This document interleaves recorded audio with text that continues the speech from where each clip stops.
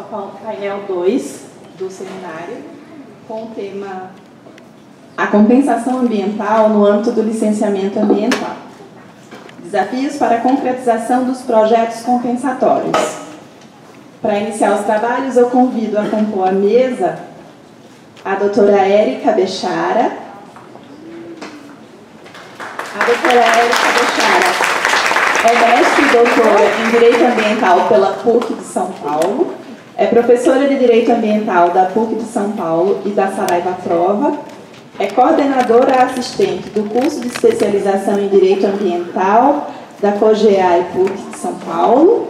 É associada fundadora e diretora da Associação dos Professores de Direito Ambiental, a PRODAB. É advogada, sócia do SASI Bechara Estorto Rosa e Figueiredo Lopes Advogados. Convido também para compor a, a mesa o doutor Antônio Celso Junqueira Borges. O Antônio Celso Junqueira Borges é engenheiro florestal formado pela Universidade Federal Rural do Rio de Janeiro. É servidor público federal, analista ambiental do IBAMA desde 2003.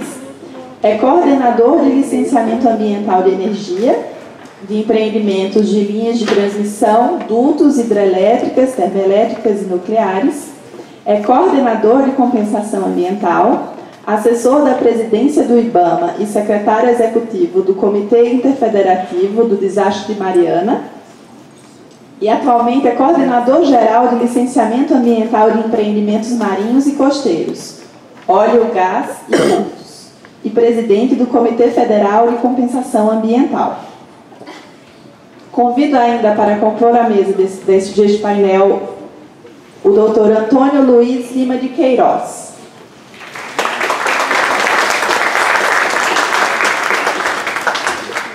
O doutor Antônio Luiz é engenheiro agrônomo formado em 1984 pela Escola Superior de Agricultura Luiz de Queiroz, da Universidade de São Paulo, formado em Direito em 2009 pela Faculdade de Direito do Lago de São Francisco, da Universidade de São Paulo atuando no licenciamento ambiental na Secretaria Estadual de Meio Ambiente desde 1997 e na CETESB desde 2007.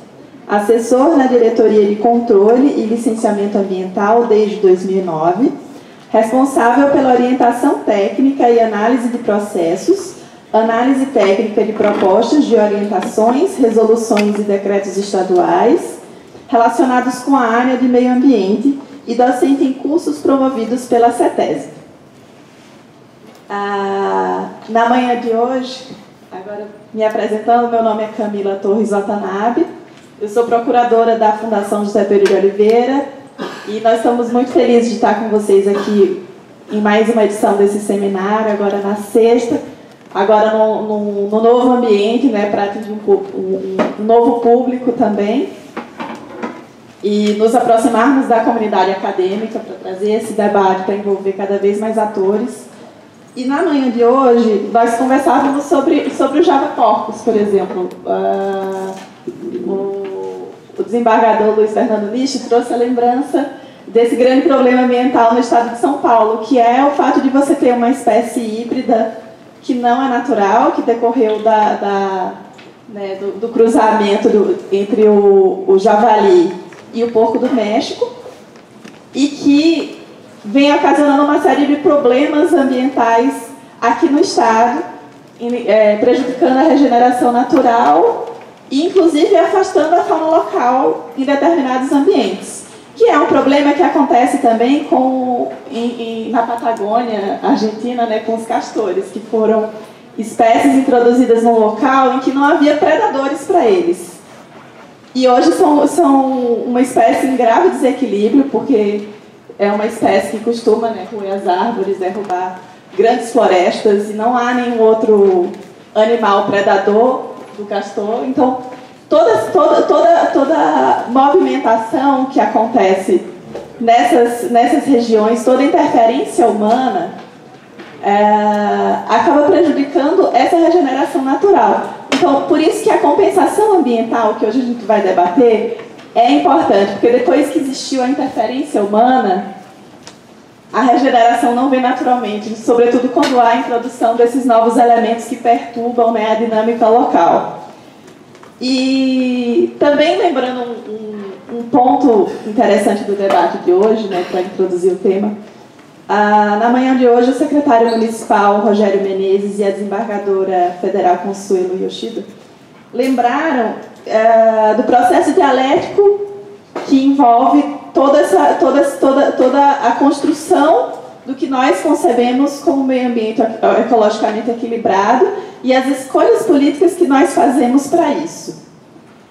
E esse ano de 2018 foi um ano muito importante né, para a compensação ambiental, por ter havido uma nova lei que traz uma nova, uma nova dinâmica na destinação desses recursos. Então, é, para tratar desse tema aqui, a gente tem grandes figuras representando a academia, o âmbito federal e o âmbito estadual.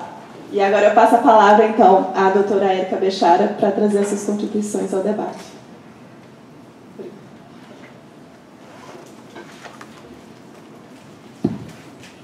Olá, boa tarde a todos.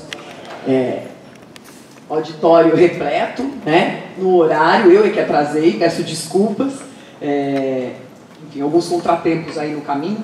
Mas eu, eu, quero agradecer o convite de estar mais uma vez num, num seminário organizado pela Fundação, de vir aqui para Campinas. É, é, a segunda vez do seminário, mas é a primeira vez que eu venho para o campo, por incrível que pareça. Eu adorei conhecer o campus, ainda que rapidamente, é, também de uma instituição de ensino tão, tão conhecida, tão, tão renomada. Fico feliz de poder falar sobre o tema da compensação ambiental, ao lado dos meus colegas, dos dois Antônios, né, que estão aqui participando, que é, certamente têm um conhecimento prático é, profundo, é, e vão aqui, obviamente, é, complementar o que eu falar, ou desdizer, ou, ou me esclarecer alguns pontos, e é para isso que nós estamos aqui. É, o tema da compensação ambiental, quando a gente fala em compensação, compensação do direito ambiental ela acaba é, é, sendo utilizada em vários sentidos, desde reparação de danos, compensação por intervenções específicas, medidas compensatórias no licenciamento.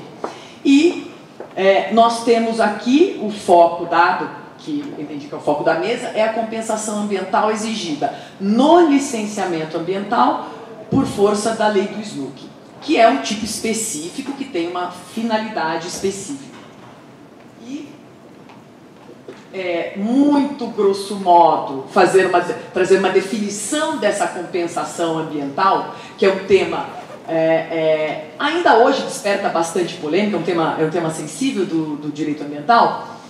Essa compensação ambiental é um valor que o empreendedor tem que desembolsar no âmbito de um licenciamento ambiental é, quando o empreendimento a ser licenciado for causador de um impacto significativo, ou, como a lei diz, degradação ambiental significativa.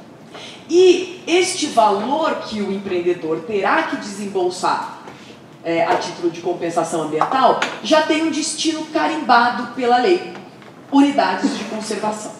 Gente vai entrar um pouquinho em detalhe, por isso que eu disse que é uma definição muito grosso modo, né? porque a partir disso tem vários desdobramentos e várias polêmicas que inclusive vão parar no judiciário, né? e cabe aí aos juízes buscar pacificar de alguma maneira algumas soluções que administrativamente, eventualmente, não, não, não conseguimos pacificar. Uh, mas antes de, de abordar alguns aspectos polêmicos da compensação, né, o tema da mesa é desafios, né, como, como ajudar a implementar os projetos compensatórios. É, eu, eu gosto de dizer que a compensação ambiental, na minha concepção, é um excelente instrumento de desenvolvimento sustentável. Porque parte do princípio que empreendimentos potencialmente poluidores terão que ser desenvolvidos, porque, infelizmente, a sociedade tem uma demanda por eles, é, não é que eles vão ser desenvolvidos para atender interesse do empreendedor, mas sim interesse da própria sociedade. Veja o caso da duplicação de uma rodovia. É, é interesse nosso, certamente, que uma rodovia com intenso movimento seja duplicada para ter um escoamento melhor. Então, esses empreendimentos é, é, com alto potencial poluidor terão que ser desenvolvidos, nós teremos que conviver com eles. É, e a compensação ambiental, diante deste quadro, antecipa a reparação de alguns danos já detectados que vão ser causados por esse, por esse empreendimento. Por isso que eu, eu, eu, eu destaco aqui que não é a compensação ambiental que viabiliza o empreendimento, não é esse o objetivo dela. Ela existe porque ela quer viabilizar o empreendimento poluidor. Não.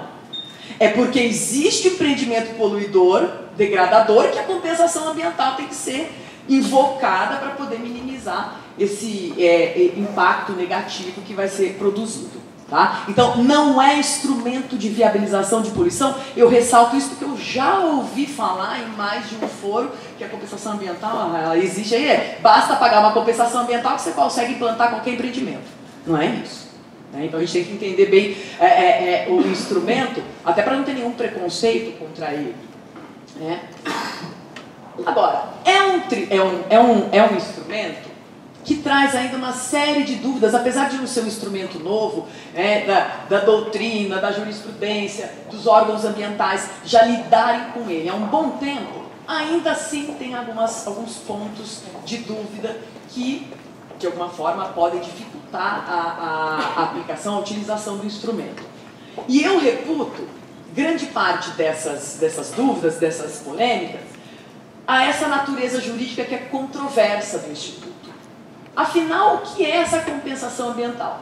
Olha, parece que cada artigo que a gente vai ler, alguém diz, dá uma natureza jurídica. Olha, é difícil achar é, é, é um, um consenso sobre a natureza jurídica da compensação ambiental. Só que a natureza jurídica, ai, é coisa de, de, de acadêmico ou de advogado que quer sempre achar a, a, a, a natureza jurídica e ficar discutindo teoria. Não, a natureza jurídica traz reflexos em vários outros desdobramentos do Instituto. Então, saber a natureza jurídica nos ajuda a interpretar todo o resto.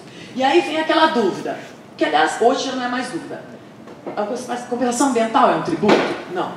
Hoje eu entendo que é pacífico que não é um tributo. Mas houve um tempo que ela era entendida como tal, inclusive com decisões judiciais dizendo, olha, esse tributo é, é, a compensação ambiental, é inconstitucional porque não respeitou, inclusive, a legislação tributária para ser é, é, instituída. Essa dúvida não existe mais. Compartilhamento de despesas. É, a, a compensação ambiental foi objeto de uma ação direta de inconstitucionalidade, a 3378, que foi julgada em 2008 pelo STF. E, e, e lá na própria decisão do STF, eu, eu, não consegui também extrair muito bem de todos os votos qual seria a natureza jurídica, porque parece que cada ministro também acabou seguindo para um, um entendimento. É, o único que, que disse que é, corroborou, na verdade, o que eu pensava sobre a compensação ambiental foi o ministro Marco Aurélio, dizendo que é uma reparação de danos futuros. Só que, justamente por isso, ele disse que era inconstitucional. Foi o único que disse que era inconstitucional a compensação. Mas, enfim, não prevaleceu esse entendimento, a compensação é constitucional, mas no, no voto do relator ficou lá como se fosse é um compartilhamento de despesas decorrente do princípio usuário-pagador. Aí outros dizem que é uma simples obrigação de fazer para apoiar é, unidades de conservação. E eu, que estou quase me sentindo uma voz isolada, é, é, eu continuo firme no entendimento de que a compensação é uma reparação de danos que serão causados na implantação de um empreendimento, mas, portanto, danos futuros, mas que são antevistos no nos estudos, no estudo de impacto ambiental, feito no licenciamento ambiental. Não é, ah, é um dano hipotético que daqui 25 anos pode ser causado. Pelo amor de Deus, não dá para compensar isso antecipadamente. Mas, na verdade, nós estamos falando de danos que são previstos, que são identificados e que, dessa forma, é, vão ser compensados antecipadamente, porque não há motivo para se esperar o dano ser é, concretizado, a gente já sabe que ele vai ser concretizado na, na implantação, então a gente já consegue, de alguma maneira, antecipar essa questão. Né? E tudo que eu falar aqui vai ter alguma ligação com essa natureza jurídica que eu defendo da compensação. Mas repito, às vezes eu me sinto até uma voz é, isolada, porque não é, é, é, não, não se encontra em toda a doutrina ou jurisprudência, ou mesmo no, no entendimento dos órgãos ambientais, essa natureza jurídica. Isso traz reflexos. Onde? No estabelecimento do valor, na destinação da compensação e na execução. Né? Então, por isso que, assim, é, saber a natureza jurídica vai trazer algum resultado nessa, nessa questão.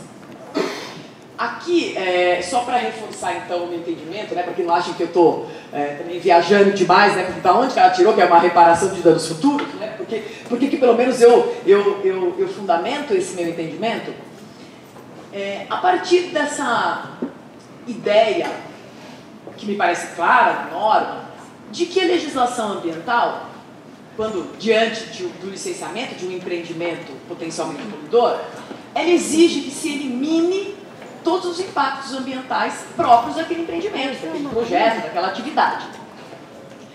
No entanto, a gente sabe que a tecnologia, o conhecimento, o estado da arte também tem os seus limites.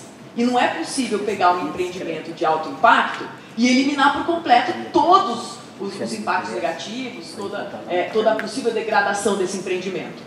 Né? Só que às vezes esse empreendimento ele é tão necessário para a sociedade que o órgão ambiental vai licenciá-lo.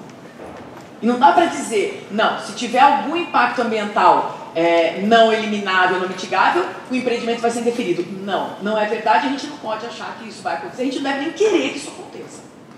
Porque isso vai ser em prejuízo de nós mesmos. Né? Então, tolera-se a implantação desses empreendimentos, mesmo que não se possa eliminar ou mitigar totalmente, totalmente os seus impactos. Pois bem, mas diante dessa realidade em que se vai liberar a implantação de um empreendimento que se sabe causador de degradação ambiental. Né? Então nós vamos deixar a sociedade lidar com essa degradação, paciência, para entender seus interesses. Então fique você com essa degradação ou não. Sociedade, você precisa vamos atender seus interesses, mas você também tem o interesse de ter um ambiente equilibrado, então nós vamos compensar antecipadamente esses danos que já sabemos que serão causados. Né? Então, como eles estão delineados no estudo prévio de impacto ambiental, eles serão compensados antecipadamente. Bom, é, depois eu vou falar um pouco da destinação, não vou, não vou antecipar, não, que a pessoa ansiosa quer falar de tudo ao mesmo tempo, né? Eu vou falar um pouquinho sobre o valor, que já não tem mais tanta polêmica como teve, é, mas é, ainda acho que vale a pena dar uma passadinha sobre esse, esse tema. Bom, nós temos várias formas para poder compensar danos ambientais. Né? E houve uma opção da lei né, de compensar é, em prol das unidades de conservação e a partir do estabelecimento de um determinado valor, porque é muito difícil valorar dano ambiental. Valorar dano ambiental causado é difícil, dano ambiental que será causado no futuro, muito mais. Mas como é que então a gente vai estabelecer um valor de compensação? Bom, a gente vai ter que trabalhar com algumas, ah, algumas metodologias. O que, que a lei do SNUC, que é a norma que prevê a compensação ambiental, o que, que ela estabelecia de início? Bom, o valor da compensação ambiental será de no mínimo meio por cento sobre os custos totais de implantação do empreendimento.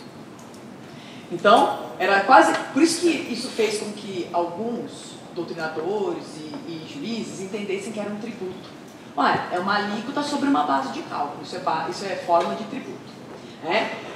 Bom, mas não é. A STF não falou em nenhum momento, nem em sonho, que isso aí era um tributo. Bom, mas no mínimo meio por cento significa, no máximo, o céu. Né? O céu é o limite, porque não tinha limite na lei. Poderia ser 2, 3, 5, 10, 20, 40, 50 né? a lei não põe limite. É, e esse foi um dos pontos questionados na ação direta de inconstitucionalidade. A CNI, que entrou com ação direta, falou: olha, fica difícil trabalhar com essa hipótese, né? Ela alegou vários pontos, inclusive a inconstitucionalidade, mas disse: olha, é, é, esse mínimo de meio por cento, da onde surgiu essa alíquota, não tem limite, isso gera uma insegurança, enfim. No final das contas, o STF, quando decidiu a ação direta de inconstitucionalidade, deixou muito claro que a compensação ambiental é constitucional, portanto ninguém vem a discutir se a compensação cabe ou não cabe, se tem amparo é, constitucional ou não tem, né? mas ele ficou incomodado com a fixação do valor. Incomodado é a maneira de dizer que ele entendeu que é inconstitucional e falou, olha, nós temos que reduzir, né, dar uma interpretação é, condizente para esse parágrafo 1 do artigo 36, que fala do valor, do estabelecimento do valor, para que se elimine esse, esse, essa aplicação de um percentual mínimo sobre base de cálculo. Só que, com todo respeito, eu acho que não trouxe a decisão, não trouxe a clareza necessária para dizer o que estava sendo de, efetivamente declarado inconstitucional. É. O texto ficou reduzido da seguinte forma: o montante de recursos a ser destinado pelo empreendedor para esta finalidade, compensação, sendo fixado pelo órgão ambiental licenciador de acordo com o grau de impacto ambiental causado pelo empreendimento. Eu fiquei super contente quando veio essa decisão, falei, ai, é, eu, eu, já tinha defendido na minha, na minha tese de doutorado que era uma reparação de danos futuros, e quando eu vi o texto dessa forma, falei, ah, está condizente com aquilo que eu estava imaginando da, da, da, natureza jurídica. Ou seja, se é uma reparação de danos, o valor tem que ser proporcional a esse impacto, ou esse dano, essa degradação que será causada. Pois bem. Contudo, né, vejam a emenda do acordo. Não sei se vocês vão enxergar, né? Tá pititica. Mas eu, no trecho destacado, no item 2, compete ao órgão licenciador fixar o quanto da compensação de acordo com a compostura do impacto ambiental. Ou seja, tem que ser proporcional ao dano é, detectado no EARIMA. Mais embaixo, lá no item 5, o valor da compensação compartilhamento, já, daí já entrou um termo aí, né, compartilhamento, é de ser fixado proporcionalmente ao impacto ambiental. Maravilha. E aí vem é, prescindibilidade da fixação de percentual sobre os custos do empreendimento. Essa prescindibilidade, essa palavrinha é que gera toda a polêmica. Porque para alguns, por tudo que foi decidido, o STF entendeu inconstitucional aplicar uma alíquota, uma, uma, um percentual, sobre o custo do empreendimento, porque o custo do empreendimento não tem a ver com impacto. O empreendimento caro não significa mais impactante. Né? Então, me pareceu que essa, ah, essa forma não está adequada. Só que a prescindibilidade acabou sendo interpretada como é, desnecessidade de fixação de percentual sobre custos, não proibição. E aí, por conta disso, né, como foi declarado inconstitucional aquele trechinho do 36, logo em seguida vem o decreto federal para restabelecer uma metodologia para apuração do valor, e a metodologia segue a mesma lógica aplicação de um percentual sobre uma base de cálculo, que é o custo do empreendimento. Mas por que, que esse decreto é aplicado na esfera federal e na esfera estadual, é, sem questionamento mais do critério? Aquilo que era alíquota mínima, meio por cento, agora é máxima. Não haverá mais alíquota de 1, 2, 2,5%. Meio por cento é o limite.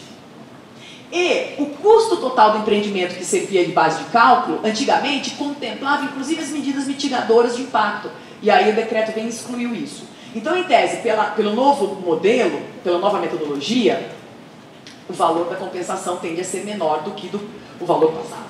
É, então, tá bom. Então, cria-se uma uma maior tranquilidade, mas aí, para quem, como eu, entende que é uma reparação de danos, parece que não guarda a, a devida proporcionalidade ou a correspondência com esta natureza jurídica. Para quem defende outra natureza jurídica, não vai haver nenhum tipo de problema na aplicação disso. E não vou nem dizer que eu vou é, é, ficar questionando, né? até porque eu reconheço. Tem que ter uma metodologia. Se essa é a única, e a gente não aplicar essa, aí não tem mais compensação, né? não tem nem como estabelecer o valor. Mas é, é, talvez fosse o caso de se pensar em, em não, não na fixação desse, da, da, metodologia usada para o percentual, mas assim o custo do empreendimento como base de cálculo.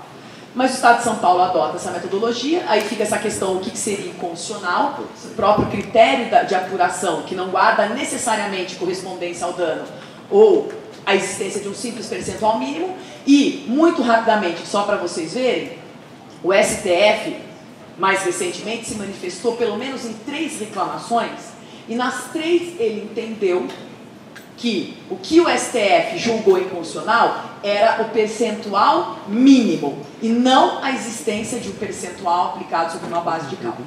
Tá? Então, essas três reclamações aqui, o critério atualmente utilizado foi validado. Né? Então, é, talvez discutir isso né, do ponto de vista judicial não faça mais muito sentido, né? talvez pensar num outro critério sim, mas aí numa discussão extrajudicial, talvez no campo normativo. Tá? Então essa é a conclusão do, do, do STF hoje com relação ao valor. É, minha dúvida permanece, se a compensação tem que ser proporcional ao grau de impacto, por que, que o percentual mínimo fere esse critério, mas o máximo não fere? Mas, enfim, fique para O outro ponto que eu também defendo que tem a ver com a natureza jurídica é a destinação. E talvez hoje esse seja o que mais cause uma, uma, um desconforto ainda, uma, é, uma certa polêmica é, com determinado aspecto.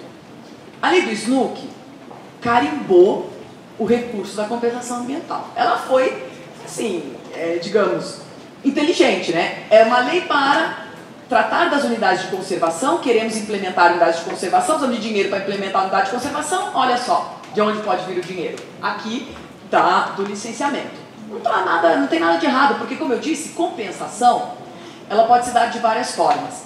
Uma das melhores formas, ou mais efetivas formas de se preservar a biodiversidade, se conservar a biodiversidade, é nas unidades de conservação. Então, por que não é, destinar o dinheiro de uma compensação ambiental em prol das UCs? Não vejo nenhum problema com relação a isso. Então, essa é a destinação única possível. Dinheiro de compensação ambiental vai para a unidade de conservação, vai para o SLUC. Isso não é polêmico. O polêmico é quais as unidades que podem se beneficiar dos recursos da compensação. Então, o que, que diz a lei do SNUC? Quem tem que ser beneficiado? Unidade de conservação de proteção integral, o regime jurídico mais restritivo parques, estações ecológicas, reservas biológicas, monumento natural, etc. E agora uma novidade da lei do SNUC, que foi introduzida, se não me engano, esse ano, ano passado, unidades de conservação de uso sustentável, de posse e domínio público, especialmente localizadas na Amazônia Legal e se houver interesse público. Elas também podem ser beneficiadas pelos recursos da compensação ambiental, é, ainda que não afetadas. E num, num, outro, é, é, outro grupo de unidades beneficiárias é, as, é, é, é das unidades de conservação de uso sustentável, que tem um regime jurídico menos restritivo, desde que afetadas pelo empreendimento. Se elas não forem afetadas pelo empreendimento e estiverem na Amazônia Legal, com interesse público, não vão receber recurso da compensação ambiental. Tá? Então tem que, tem que seguir essa regra, isso está claro na lei, não desperta polêmica a princípio a princípio, por quê? Porque nós temos várias unidades de conservação ávidas por receber esse recurso, né? e nem todas parece que se enquadram, mas só que a lei também não diz tão claramente como é o critério de, de distinção de quem vai concorrer ou não para isso. Né? As unidades de conservação e suas zonas de amortecimento que forem afetadas pelo empreendimento, conforme apontado pelo EIA-RIMA, elas terão que receber recursos da compensação. Se elas forem afetadas, nada mais justo do que parte do recurso reverta para essas unidades. Isso está dentro da lógica da reparação de danos. Né? Para reparar o dano, não é melhor que você faça o contrabalançamento da situação para quem ou para a região mais prejudicada? Sim. Não havendo unidades de conservação e zonas de amortecimento afetadas pelo empreendimento, aí é que começa a, a, a ter problema. O, o, o SNUC não diz se as unidades de conservação beneficiárias têm que estar na área de influência do projeto, se elas podem estar lá longe. Olha, o empreendimento é aqui em Campinas, mas as unidades de conservação aqui estão super bem, estão indo super bem, vamos pegar esse dinheiro e vamos levar lá para Caatinga, ou vamos levar lá para a floresta amazônica, né, porque eles estão precisando mais. A lei não diz nem que sim, nem que não. E aí, aqui, né, nós, é, doutrinadores, advogados, órgãos ambientais, juízes, promotores, é aí que a gente começa a, né, a, a, a, se estranhar. Né? Por quê? Porque tem vários entendimentos. Um entendimento, é, talvez mais próximo do, da, da, do tratamento da compensação como reparação de danos, é de que, as, se não houver unidades afetadas, pelo menos o recurso tem que ficar próximo à área de influência do projeto ou à área mais prejudicada com aquele empreendimento. Lembrando que ele está pagando uma compensação ambiental só porque ele está causando degradação. Se ele está causando degradação, tem uma área mais diretamente afetada por ele. Mas isso não está na lei. E aí vem da interpretação. E aí, para quem interpreta a compensação como reparação de danos, pode concordar comigo. Mas para quem entende que a compensação existe apenas como instrumento de implementação do SNUC, tanto faz o lugar em que o dinheiro vai. Se ele é gerado em Campinas e vai ser aplicado é, lá na Paraíba, não tem problema. Não tem problema, porque na verdade o sistema é nacional, né? nós estamos gerando benefícios para todo mundo. Então, esse é um ponto sensível e que tem gerado é, controvérsias, inclusive em juízo. A resolução CONAMA 371, que trata da compensação ambiental,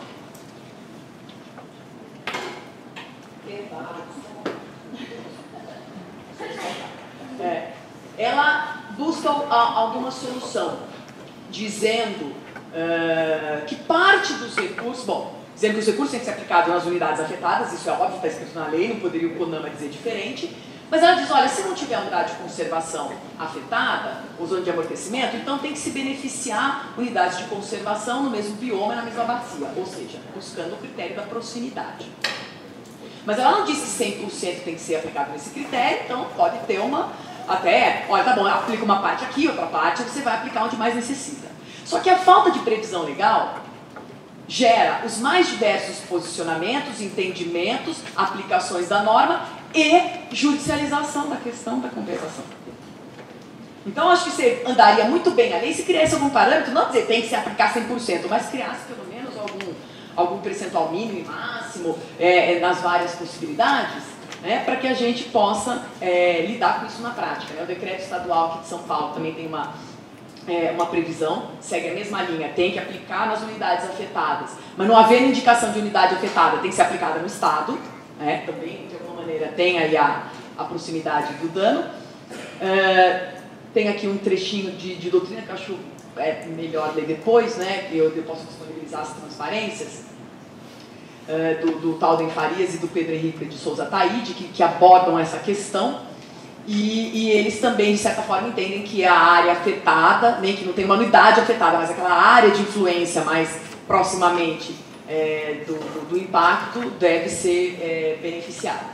E aí algumas decisões, que é realmente impossível de ler, algumas decisões judiciais que falam isso. Essa é bem recente do TRF da terceira região. Né? Dizendo, olha, tem aqui um... Ah, ah exatamente, vocês é que estão aqui sendo beneficiados. Ah, tá vendo? Foi, foi coincidência que eu achei essa decisão, mas tem a ver com vocês. Por quê? Porque ah, foi determinada a aplicação toda no Parque da Serra do Mar, falou, não, mas peraí, o empreendimento é aqui, então tem que trazer o dinheiro para cá. E a desembargadora né, você tem que agradecer, né? A desembargadora mandou é, é, parte dos recursos né, ser aplicado aqui, porque aqui foi a área afetada.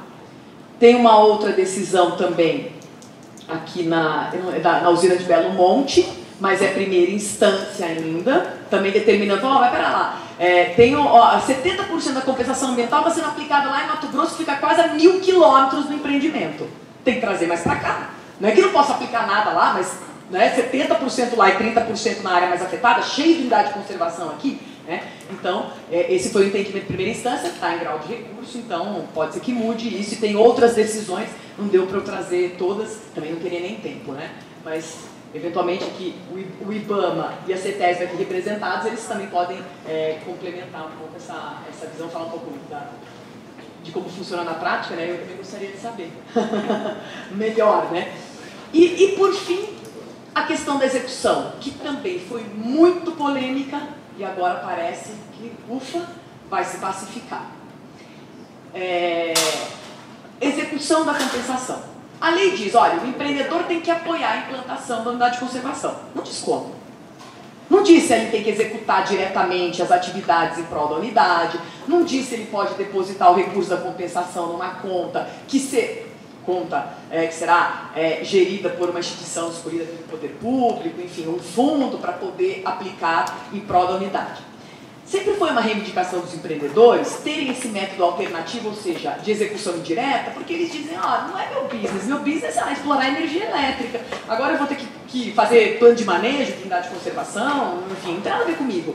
É, eu pago, mas eu acho que tem que ter alguém, outra pessoa para executar isso. Claro que ele não executava ele diretamente, muitas vezes ele contratava ou contrata uma empresa especializada e sempre o órgão ambiental, né, às vezes até é, não como interveniente, mas, mas o órgão ambiental acompanhando tudo. Eu mesma revisei um contrato de um cliente em que a, o produto, a, a, empresa contratou o meu cliente para executar o, uma parte né, da, da compensação ambiental, mas os produtos são aprovados pela Fundação Florestal, naturalmente né, é, é ela é destinatária do produto e não, e não a empresa. Né? Portanto, é, é, essa, essa lógica até funciona, mas mesmo assim, é, já o Estado de São Paulo adota há bastante tempo, e no âmbito federal também se adotou, mas lá com muita polêmica, essa execução indireta, por favor, concluir, em dois minutos. É, é, é, a execução indireta, em que o empreendedor, então, repassa o recurso para uma conta gerida por uma instituição financeira, com todo o acompanhamento do órgão ambiental. Pois bem, no âmbito federal, foi, é, foi tão acidentado isso porque o Tribunal de Contas tinha uma visão equivocada, na minha opinião, né, equivocada sobre a, a natureza desse, desse recurso. É, o Tribunal de Contas diz o seguinte: não, primeiro, a lei diz que ele tem que executar diretamente, a lei não permite execução indireta. Acabou. Então não, não tinha discussão. E o Tribunal é, de Contas da União é, manifestou esse entendimento, depois ele meio que mudou, depois ele reiterou o entendimento. Então, não tem jeito, né? Não tem como fazer execução indireta. Vai, empreendedor, paciência, vai você executar diretamente. Mas, se o problema do Tribunal de Contas era a falta de previsão legal da execução direta, isso agora está resolvido. Porque foi aprovada em 2017 uma medida provisória, convertida agora na Lei 13.668 de 2018, que prevê claramente a execução indireta. Então agora o empreendedor pode escolher se ele quer executar diretamente ou indiretamente. Então, essa discussão é, é, eu acho que o Tribunal de Contas se manifestou ainda a respeito, né, agora à luz da nova legislação, mas o fundamento desapareceu. O recurso, aqui só a fonte de, de consulta, o recurso é privado, não é público. Mas tem várias decisões judiciais dizendo que é receita pública. Tem uma, uma receita do Tribunal de Justiça do Rio de Janeiro dizendo que é receita pública e que não tem natureza privada. Então, ó, veja quantas discussões, quanta judicialização em torno do tema. Aqui só rapidamente a decisão, a última decisão do Tribunal de Contas da União, porque que ele entendeu que a execução indireta não era cabível. Mas agora com a nova lei é cabível. Eu apoio essa lei, eu entendo que deve ser também é, dessa forma, pode ser executada dessa forma.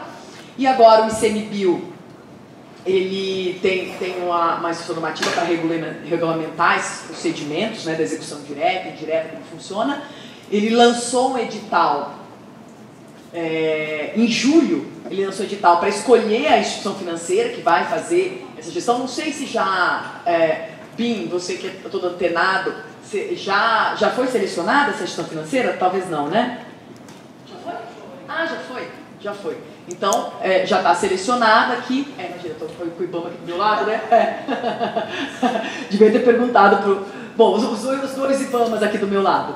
Então já foi selecionada. E aí tem as, as disposições, né, é, é, reiterando que é um fundo privado, que o objetivo dele é receber os recursos da compensação, os recursos vão ser é, é, segregados por empreendimento para se utilizar em prol das unidades de conservação, e eu acredito que isso vai, vai funcionar bem. E, e muito dinheiro de compensação ambiental vai chegar nas unidades de conservação, é, talvez com, com a facilitação deste empreendimento, aqui desse procedimento. No estado de São Paulo já é há algum tempo adotada a execução indireta também na conta poupança, é, é, tem essa possibilidade também.